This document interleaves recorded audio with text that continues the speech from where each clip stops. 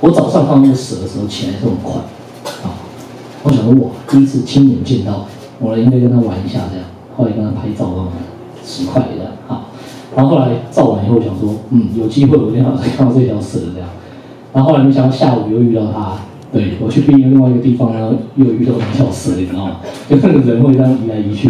就像摊贩啊，哈，然后后来，哎，我想说，哎，你这个蛇好像不是跟我合照那只美，对吧？因为看起来那个动作不一样，的哦？对，那后来搞半天是怎样？他早上七点开始工作，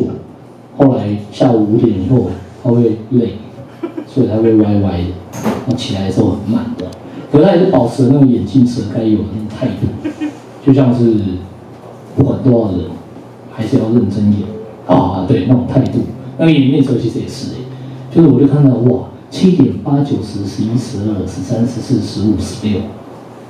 十七，工作十小时哎。他在那个地方，对，然后就把这个事情记录下来，就写了接下来这首曲子，叫做啊《眼镜蛇独奏曲》。而这首曲子很好玩，因为他就在讲那一开始很有力，到后来很没力，可是他的那个态度还是要在那种感觉，所以就带来这首《眼镜蛇独奏曲》。